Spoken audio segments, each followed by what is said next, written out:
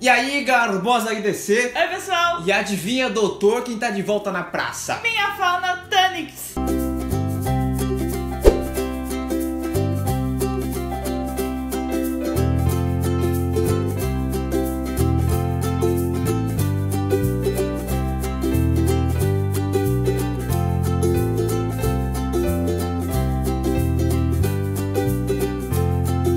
Só vocês pediram minha fauna, como teve um inscrito, teve um só, confesso. É. Acho que foi o Décio lá no Não, Instagram. amor, tem que ser blogueirinha e falar assim: Como vocês pediram muito, meninas!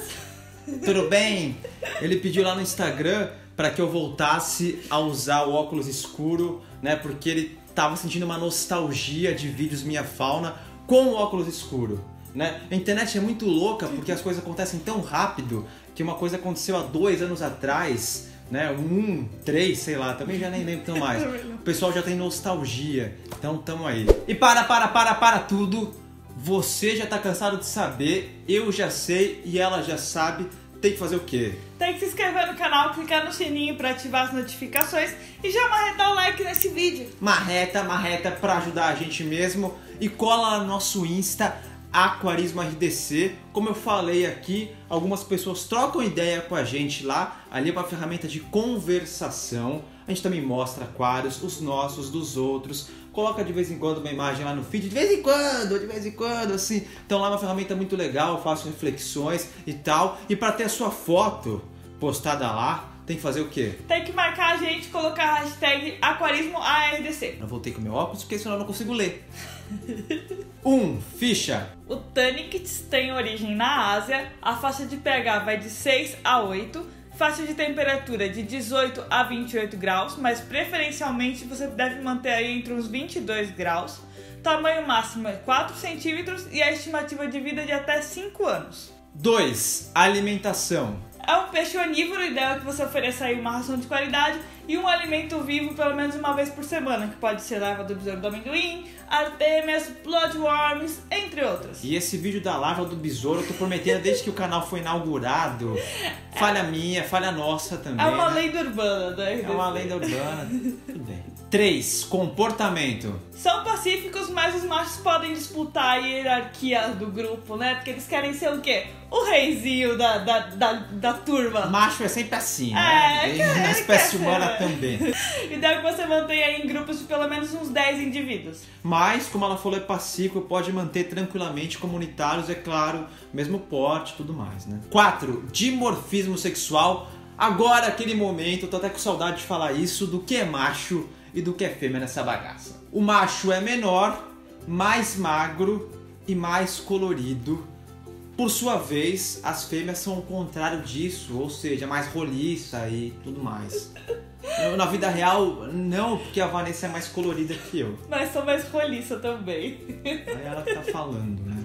5. Aquário. Quero ter Tanix. O que faço? O que faço? O que fazer? É que você tenha um aquário de pelo menos uns 50 litros. Você usa o bom senso aí, coloca realmente a litragem mínima, porque, mano, pra gente não ter mais beta em beteira e nem outro peixe em beteira. E o mínimo significa aí que você pode colocar sim o seu, seu cardominho aí num aquário maior, não é mesmo? Bem maior. Você pode colocar, fique à vontade. Montando o seu aquário precisa fazer a ciclagem. Se você não manja aí do ciclo do nitrogênio, que dia, meus amigos, tem um vídeo aqui em cima. Por quê? Por quê? Que canal faz isso pra você? Gente, é legal pra caramba, né? Você tem uma ficha em vídeo, né? Porque se fosse pra fazer em peixe, todo mundo já fez, não é verdade? Todo mundo já deu Ctrl C, Ctrl V nos cílios de ficha ali. Então vamos fazer em vídeo aqui, que ajuda pra caramba também. Uma das coisas mais importantes antes de você comprar o seu peixe é consultar a ficha para que realmente você saiba as características desse peixe e não cometa erros para ter suas próprias experiências e também os conceitos de ciclagem, como a Vanessa indicou o vídeo aqui. Isso falta bastante, é isso também que prejudica o aquarismo. Você tem que saber o conceito mínimo sobre ciclagem sobre o ciclo do nitrogênio para ter os testes, parâmetros, enfim. Isso é a base do aquarismo, né? Tendo essa base, meu amigo, para o alto e avante. Exatamente, trouxe seus peixinhos da loja, precisa aclimatar e quarentenar. Se você não sabe do que eu tô falando, também tem um vídeo aqui em cima. E o ideal é que você faça aí pelo menos uma TPA, uma troca parcial de água, pelo menos de 15 em 15 dias. Se você também não sabe do que eu tô falando, também tem um vídeo aqui em cima. Esse lance da TPA, tudo é importante. Aqui é o básico. A gente se preocupa muito com o básico, com a base, né? Porque a gente não se leva a sério, a gente leva o aquarismo a sério. Então é a base do negócio. E aí, tipo, a TPA, é, eu sei. É, no começo é legal pra caramba, né? É, é, você tira o estresse ali, é uma higiene mental. Ainda é legal pra gente, mas às vezes dá uma preguiça, você pensa, vou adiar um pouquinho. No frio, então? Então, tem bastante gente que fala, meu, o peixe morreu do nada. Não, ele não morreu do nada. Se você tem controle dos parâmetros, se você tem controle dos testes, né, e tudo mais, de repente tá faltando uma, uma TPA aí no seu aquário, tá? Então, é tu, tudo isso que a gente fala aqui é importante. É o básico, mas é importante. E se você gostou desse garboso, elegante vídeo, que saudade que estávamos do Minha Fauna, vocês pediram, pediram, pediram. Tá aqui, teve até óculos escuros, vou pôr de novo.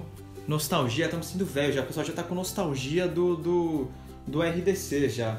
Mas isso é bom porque é sinal de que a gente já tá inserido na cultura do aquarismo. Aí fica muito honrado. Então, faz tudo que a Vanessa já falou, tem que fazer mais o quê? Tem que se inscrever no canal se você não se inscreveu lá no começo do vídeo. Marretar o like neste vídeo, a gente já pediu, a gente pede de novo porque é de graça. Você sabe que não é de graça? Comprar um e-book pra ajudar a gente. Mas é quase. É quase de graça, é como se fosse graça, porque é um valor simbólico. Se você quer comprar um e-book e ajudar nesse projeto, o link está aqui embaixo. Se você quer seguir a gente nas outras redes sociais, os links também estão aqui embaixo. Entra lá no nosso grupo no Facebook. E já chega chegando com parâmetros, dimensões do aquário, fauna, pra gente ajudar, custe que custar.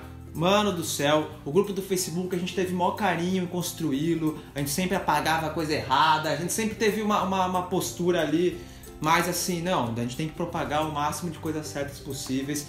E, poxa, ali a gente tem uma comunidade muito ativa que ajuda nas pautas aqui. Então vá conhecer nosso grupo do Face, porque eu, não gosto muito do Facebook.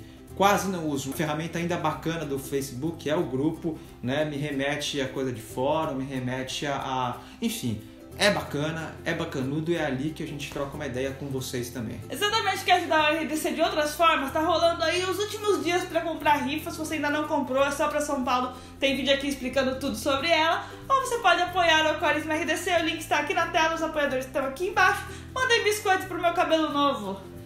Então para de ser biscoiteira, porque é ruim o biscoito. É ruim o biscoito. Beijo. Tchau. Tchau.